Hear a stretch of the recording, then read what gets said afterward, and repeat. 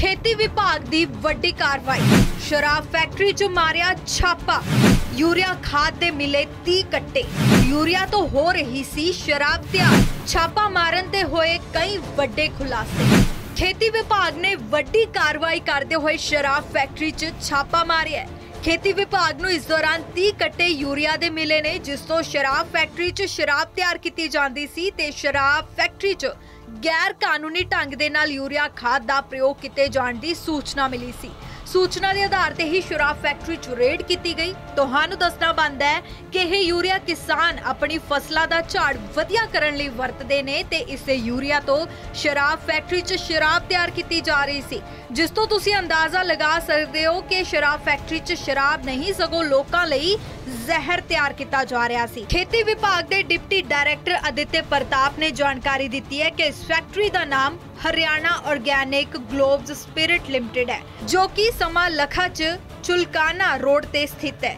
ਕਿਸਾਨਾਂ ਦੁਆਰਾ ਹੀ ਉਹਨਾਂ ਨੂੰ ਜਾਣਕਾਰੀ ਦਿੱਤੀ ਗਈ ਸੀ ਕਿ ਯੂਰੀਆ ਦਾ ਗਲਤ ਪ੍ਰਯੋਗ ਕੀਤਾ ਜਾ ਰਿਹਾ ਹੈ। ਇਸ ਤੋਂ ਇਲਾਵਾ ਜਦੋਂ ਖੇਤੀ ਵਿਭਾਗ ਦੇ ਅਧਿਕਾਰੀਆਂ ਨੇ ਫੈਕਟਰੀ ਦੇ ਮਾਲਕਾਂ ਤੋਂ ਯੂਰੀਆ ਖਾਦ ਦੇ ਕੱਟਿਆਂ ਬਾਰੇ ਜਾਣਕਾਰੀ ਮੰਗੀ ਤੇ ਇਸ ਦੇ ਕਾਗਜ਼ਾਤ ਸੰਬੰਧੀ ਜਾਣਕਾਰੀ ਮੰਗੀ ਤਾਂ ਫੈਕਟਰੀ ਮਾਲਕ ਕਾਗਜ਼ਾਤ ਪੇਸ਼ ਕਰਨ ਤੋਂ ਵੀ ਅਸਮਰਥ ਰਹੇ। ਜਿਸ ਤੋਂ ਬਾਅਦ ਅਧਿਕਾਰੀਆਂ ਨੇ ਪੁਲਿਸ ਦੀ ਮੌਜੂਦਗੀ 'ਚ ਯੂਰੀਆ ਦੇ ਕੱਟਿਆਂ ਨੂੰ ਟਰੈਕਟਰ ਟਰਾਲੀ 'ਚ ਲੋਡ ਕਰਵਾ ਕੇ ਸਮਾਲਖਾ ਥਾਣੇ 'ਚ ਭੇਜਿਆ।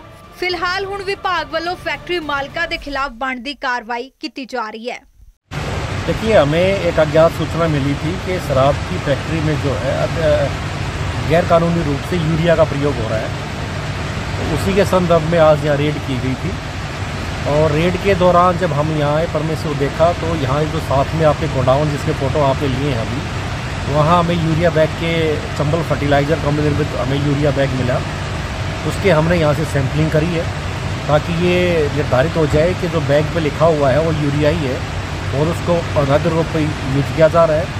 क्योंकि किसानों को ये जो यूरिया दिया जाता है, उसमें सेवेंटी फाइव परसेंट सब्सिडी है, और अगर जो कोई उनमें इंडस्ट्रियल यूज़ करता है उस यूरिया को तो वो गैर कानूनी है। इसके सैंपल लिए गए हैं सैंपल लेकर के सील कर दिया गया है। इन्होंने बताया कि जी, ये यूरिया हमारा नहीं है, ये कोई साथ लगते हुए फार्मर्स हैं, किसान का रखा हुआ है। तो हमने इनको प्रॉपर छः साढ़े छः तक का समय दिया कि जिनका भी ये यूरिया है, जो मालिकाना हक बता रहे हैं, आप उनको प्रोड्यूस कर दें हमारे सामने। दस्तावेज़ दिखा दें कि उनका है, लेकिन साढ़े छः बजे तक हमारे पास कोई नहीं आया। फिर हमने पुलिस को इन्फॉर्म करके, एक एफ़ आई आर लिख करके एफ़ आई आर करने के लिए एक निवेदन पुलिस को किया है, जिसको ये बैग भी उनके सुपर्द कर रहे हैं और जो सैंपल हमने लिए हैं, उनको लेबोरेटरी में भेजा जाएगा। और उसके बाद जो रिपोर्ट आएगी रिपोर्ट के आधार पर तो पुलिस कार्रवाई करेगी करेगी।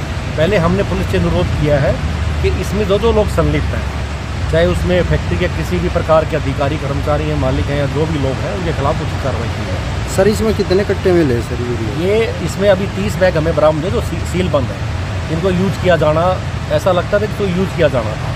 अभी तीस बैग मिले हैं। उनको हम अभी पैक करवा रहे हैं इसके अंदर क्योंकि ये एक आवश्यक वस्तु अधिनियम के तहत आता है जो कि गैर जमानती है।